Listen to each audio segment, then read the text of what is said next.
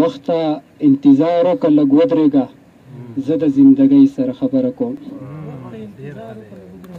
وخته انتظار وکړه لږ ودرېږه زه د زندګۍ سره خبره کوم او یو بل سیر دی چې زما او ستا ترمنځ دا یوه خبره بس زما او ستا ترمنځ نه څه او نه څه شته او غزل له به راشم چې چې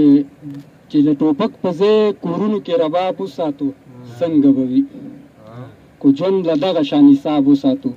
څنګه به وي کو د ملابند په ځای بسته کې کتابونه واچو چې جنگ له دغه شان اسباب وساتو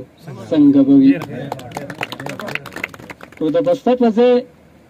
د املابند په ځای به سته کې کتابونه واچو چې جنګ له دغه شان اسباب وساتو سنګه به وي مولا زما استاد یاد بلتون کو ګران شي راته کو دې سندرو له شاداب وساتو سنګه به وي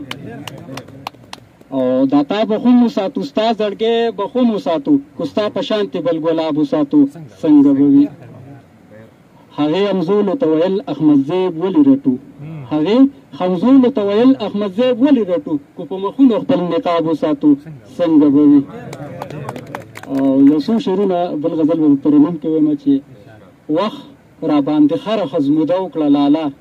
ما خوب د پاره بیا ګوره نشه وکړه لالا اشر د لیونۍ پکې لګیا د واخرې بي ته وګوره هغې څنګه قوده وکړه لالا